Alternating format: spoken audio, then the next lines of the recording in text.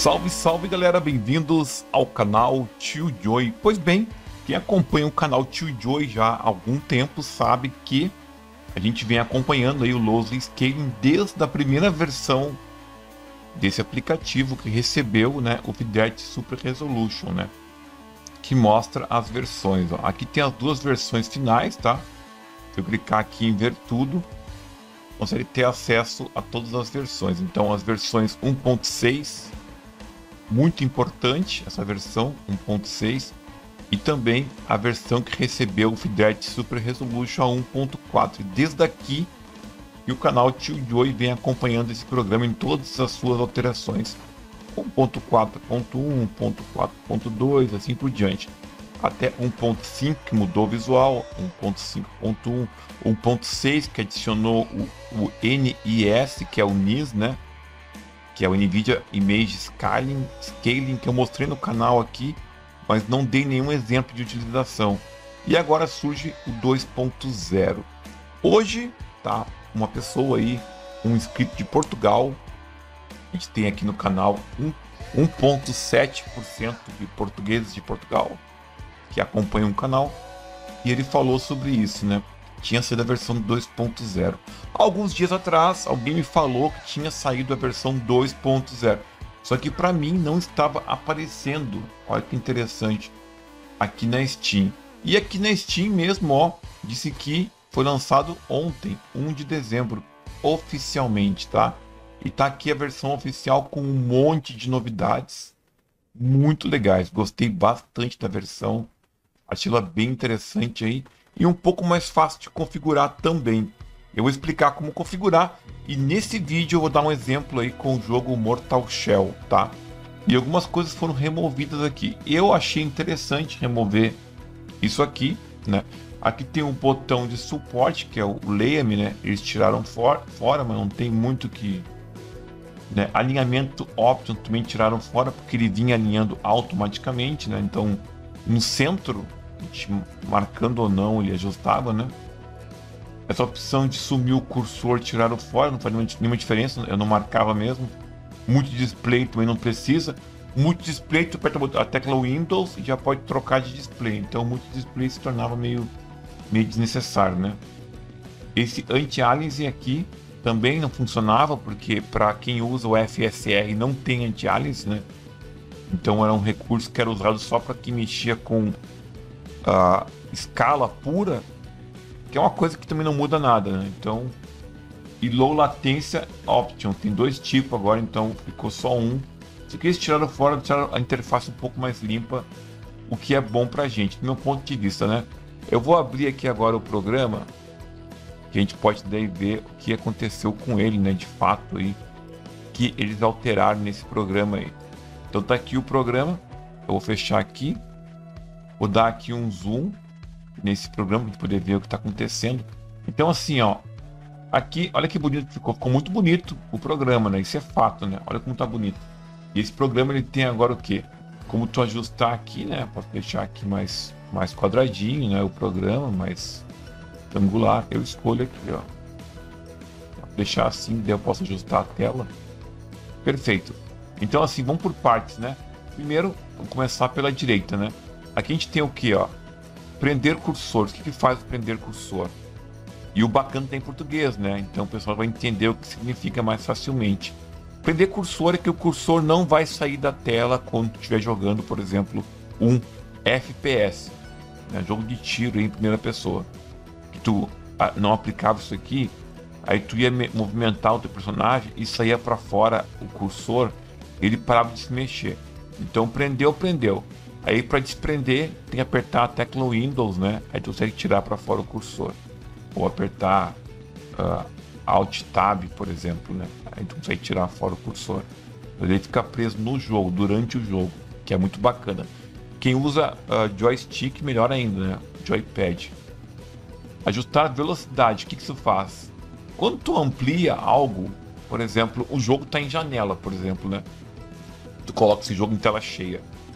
Automaticamente a escala muda. Então, o ajuste de velocidade é essencial para que tu não estranhe a sensibilidade do, do mouse, que vai ficar meio estranha, meio zoada. Então ele ajusta de acordo com o grau que tu usou de escala. O HDR tem que ter monitor HDR, tá? Ele tá explicando, ó. Tu tem que ter monitor HDR e tem que ter também um suporte no jogo, tá? Isso aqui então é para quem tem suporte. Ele tá explicando, ó. Ele consome um pouco mais de processamento de dados. Todas as explicações aqui, ó, ficavam naquele botão leme antes. Agora tá aqui automaticamente, ó, aparecendo. Mesma coisa aqui, ó. Permite o tearing na tela. Pode ajudar a reduzir a latência. Uh, permitir tearing. Tearing é um tipo de falha, né? A gente chama de stuttering, né? Stuttering. Stuttering. Então, tanto faz isso aqui. Tanto faz, tá? Eu marco desmarco, tanto faz. Deixa marcado. Não muda muita coisa, porque nos jogos não tem stuttering, né? Esses jogos instalados. E o API de captura ligada, isso aqui é o GDI, tá? Isso aqui que a gente, eu mostrei no outro vídeo, que no jogo Guerra Mundial Z, o GDI ajudava bastante, ajudava muito. Mas na grande maioria não. Então pode-se dizer que essa configuração aqui é boa. Aplica os dois e esse do meio, tá? Isso aqui é uma boa pré-configuração. Aqui a gente tem os tipos então de, de, de escala né, e de efeito. Aqui a gente tem quatro tipos apenas. Ó. Antes, na versão anterior, a gente tinha o AMD, FSR e também tinha o FSR Lite. Eles colocaram aonde o FSR Lite? Aqui embaixo, ó, versão otimizada. Só que não é bom, tá? Então eu não aconselho você usar o FSR Lite. Aconselho você usar o normal. A Nvidia a mesma coisa, ó. a Nvidia Scaling, né? É o da Nvidia, ó, NIS. Então, AMD e NIS. E aqui tá as duas escalas puras, né? Que você usa para jogos antigos aí, que é a escala integral e a escala uh, mais ou menos integral, né? Aproximada, né? É aproximada. A gente vai usar esses dois, esse ou esse. Eu ainda prefiro o AMD FSE. Diz que o NIS tem um pouco mais de desempenho, né? Eu tenho que tirar essa prova limpa aqui. A nitidez está aqui, ó, tá? Se eu colocar aqui até 10, o 10 é o máximo e o 1 é o, é o 0 é o mínimo, tem 0, ó. Então eu poder escolher aqui. Não quiser aplicar nitidez, só colocar a escala, tu deixar só na escala e por aí vai.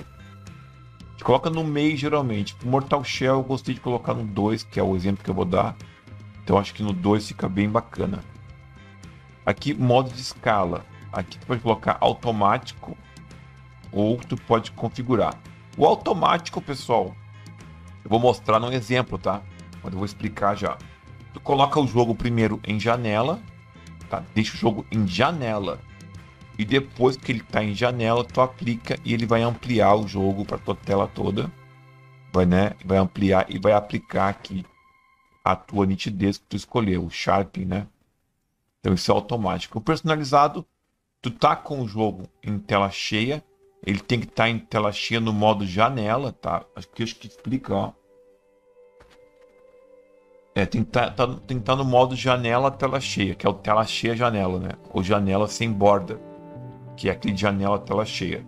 Tu coloca o jogo em tela cheia janela, não tela cheia pura, tela cheia janela. Ou tela cheia sem borda, ou, ou janela sem borda, né? E aí tu escolhe a escala que tu quer reduzir. Aqui no canal já falei sobre isso várias vezes, né? Sobre essas escalas aqui, mas eu vou explicar aqui bem rapidamente. Quando tu está jogando um game e tu escolhe uma escala, as escalas elas são da seguinte maneira, ó. A gente tem a escala 1.3, tá, que é chamada de alta qualidade. Ela reduz o teu jogo, né? Ela reduz o teu game. Uh, 1.3. 1.5 é a qualidade. Então, a alta qualidade reduz bem pouquinho. A qualidade reduz um pouco mais. Ele coloca, por exemplo, um jogo que ele é Full HD, ele passa esse jogo para HD. Tá. O balanceado é 1.7. 1.7 é o balanceado que deixa o jogo bem balanceado. E o desempenho é o 2.0, doisão. Então, doisão é mais forte, ele divide o jogo, né? Além do 2, pode colocar escalas até maiores, tá? Ele reduz ainda mais. Aí depende de cada game, né? Aqui pro Mortal Shell, vou deixar 1.5 pra gente ver como é que fica ah, os quadros aí. Eu acho que é o suficiente. Pode até mexer aqui, colocar 1.6, 1.7, até pegar o FPS que tu quer pegar, né? Aqui embaixo diz, ó, ajustar o tamanho da tela antes de aplicar a escala. Isso que é importante.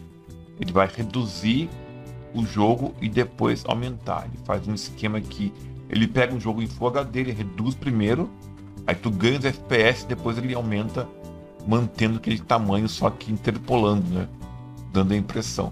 Para te criar um perfil aqui é muito fácil também. Então clicar aqui em adicionar, vai colocar o nome do jogo, né? Eu vou colocar aqui uh, Mortal, por exemplo, e aqui tu vai localizar o executável no seu computador, tá? Aí isso aqui fica um pouco complicado de mostrar agora porque os jogos do Windows eles ficam um pouco escondidos, né?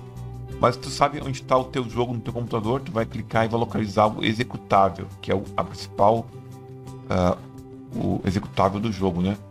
E se colocar a escala automática, quando tu abrir o jogo já vai aplicar tudo automaticamente para você. Olha que bacana, né? Bem legal mesmo. E aí você coloca aqui, cancela e fica salvo aqui o perfil já que tu criou para aquele jogo lá. Muito bacana. Só para concluir as configurações e poder partir, por exemplo, né? Também tem aqui as configurações. aqui tu escolhe a, a, o comando, né? Eu vou apagar esse aqui, ó. Geralmente ele vem com Ctrl Alt S, né? Ctrl Alt S. Esse é o comando padrão que vem com o load scaling. Eu não gosto desse comando porque muitos jogos o Ctrl ele faz uma função assim se abaixar, por exemplo. Aí tu ia fazer o comando ele se abaixava. Então eu prefiro colocar aqui o Shift U. Mas isso aqui fica a critério de cada um, tá? Tu vai escolher o comando que tu quiser para fazer. Aqui é, é bom colocar iniciar como administrador, porque isso aqui ajuda bastante o recurso a funcionar, tá? Então isso aqui é bacana. Iniciar com Windows depende.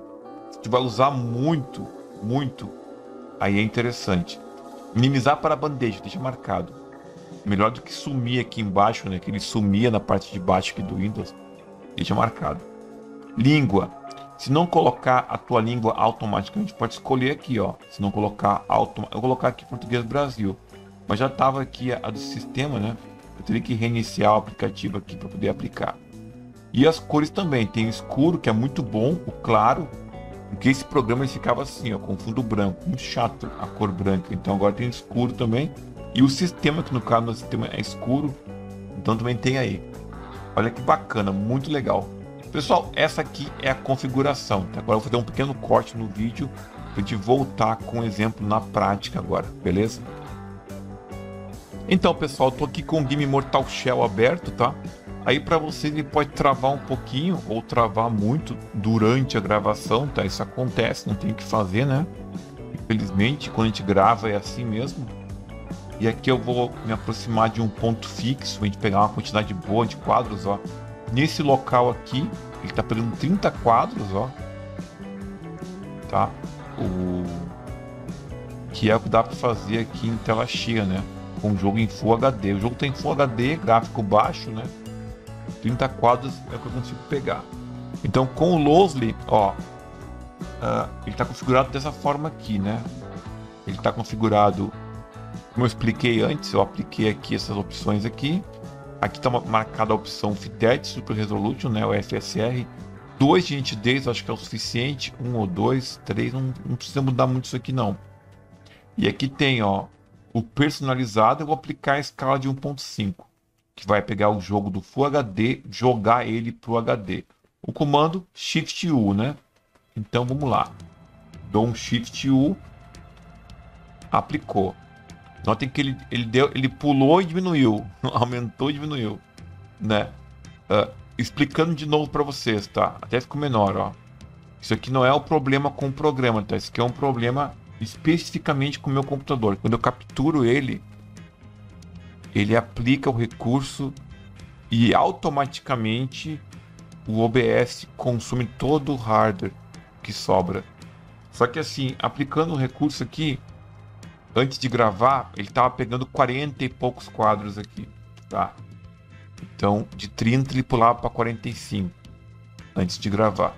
Só com um comandinho aqui, ó. Agora aqui já, já não está funcionando. Vamos ver aqui em configurações também. Então, em configurações em vídeo, a gente coloca a opção janela sem bordas, tá? Essa aqui é a opção que vai colocar aí para poder fazer poder usar esse recurso aí. Não pode ser uh, tela cheia. Tela cheia nem sempre funciona, tá? Tu coloca a janela sem bordas, ele vai adaptar o teu jogo, né? E aí depois vai colocar. Se eu colocar no janela, eu posso também. No janela é um pouco diferente, tá? Eu vou explicar agora como é que funciona. Tu reduz o jogo primeiro para janela, aí tu aplica, tá? E com o jogo em janela, tu ganhou alguns quadros lá, ó. Né? Ganhou alguns quadros. Aí tu vai pegar o Losly, só que no modo janela tu muda. Ao invés de personalizado, tu coloca no modo automático.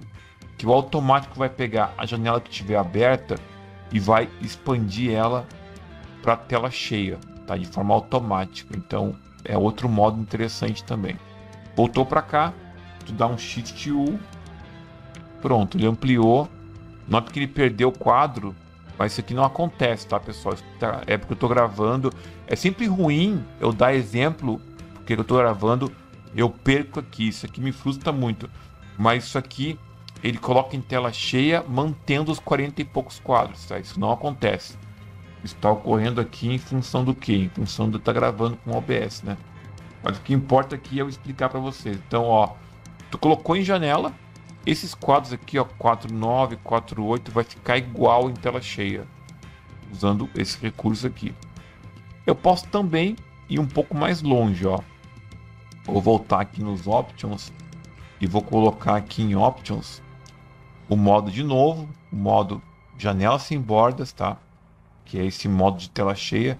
Só que ao invés de eu colocar, só que ao invés de colocar, reduzir ali o, ao invés de eu reduzir apenas 1.5, eu posso colocar valores mais altos também. Lembrando que o mais alto para o FSR é o 2.0, que é esse aqui, que é o modo de desempenho, né?